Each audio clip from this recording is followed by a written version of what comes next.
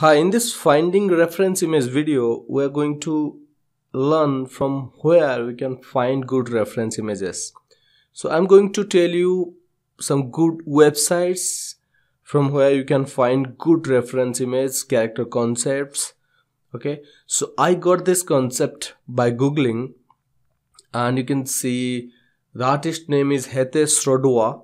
So I'm sorry if I pronounce your name wrongly and you can see his name you can uh, this is his ArtStation portfolio snapshot.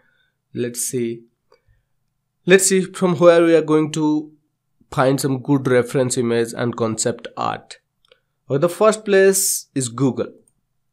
If you see if you just go and put Hitesh Radwa or if you put character concept art like this you'll get a lot of images. And I just put Hitesh Radwa if we go to this image section you'll get this uh, his most of his concept art here and you can see this is the concept we are using. Make sure when you are using any artist concept art to give him or her credit for that.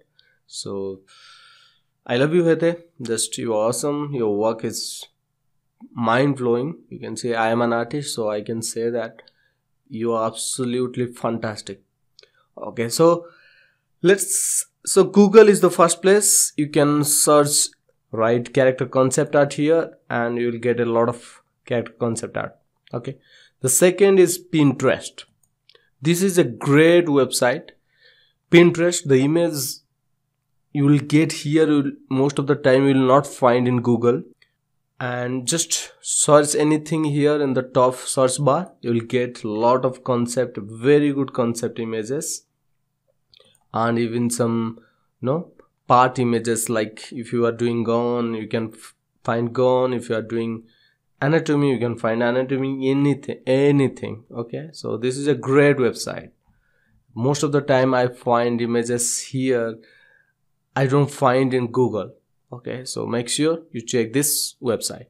And the third is artstation. So artstation is a very professional website for artists to put their work okay? Like Hete has done this. So he has a like portfolio here Hete Sardua if you search here Hete Sardua you will get the first link is here uh, his ArtStation link.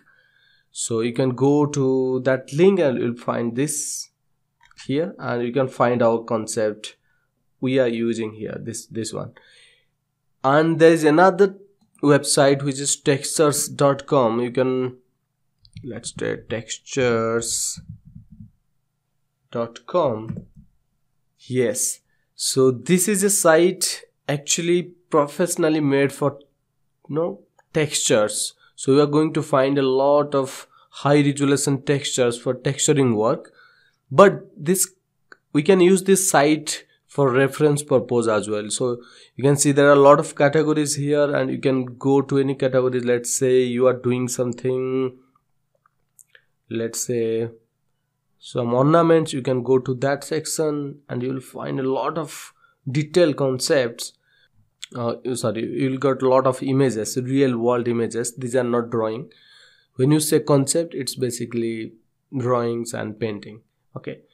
So there are a lot of sub you know, websites but i use most of this website the pinterest one uh, most of the time and texture.com is very good for texturing purpose as well. You'll find a lot of good textures and some brushes you can find here as well. So if you go to 3d brushes you will find you can use this brushes ZBrush brushes basically. These are ZBrush brushes you can use for modeling purpose.